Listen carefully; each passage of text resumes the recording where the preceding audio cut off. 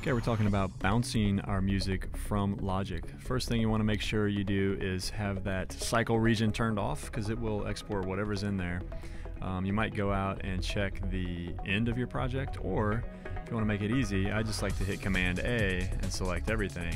Then go to the File menu, choose Bounce and Project or Selection. Command B is the shortcut. Uh, select PCM, that's a full quality file change the sample rate to 48,000. That's a video sample rate. Uh, double check those start and end times. Check that the uh, normalize is off, most likely. And then uh, pay careful attention to where you save it. And then from there, you can literally just drag it into your Final Cut Pro project. I'm going to give it a name that's a little bit more useful. Now, just take it, drag it into Final Cut Pro. That'll import it into your browser and put it in the project. You can adjust it however you like from there.